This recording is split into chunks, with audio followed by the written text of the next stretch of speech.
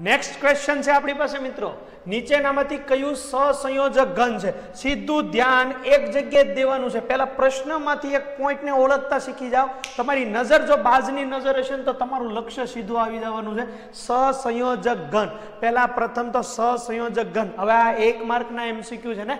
બોર્ડના એમસીક્યુની આપણે વાત કરી રહ્યા. તો થોડુંક જ વિચારો. તમે કાર્બનિક રસાયણ વિજ્ઞાન શીખો છો, જેમાં કંઈક સહસંયોજક બંધ આવે છે. યસ મિત્રો. તો તમને ખ્યાલ છે એસો ટુમાં કોઈ કાર્બન છે? નહીં.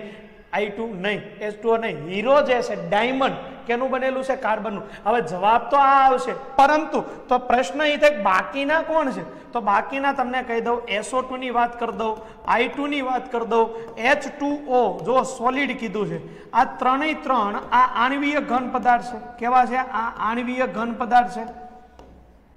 આણવીય ઘન પદાર્થ છે. જ્યારે ડાયમંડ, યસ હીરો હીરો જે છે એ સહસંયોજક છે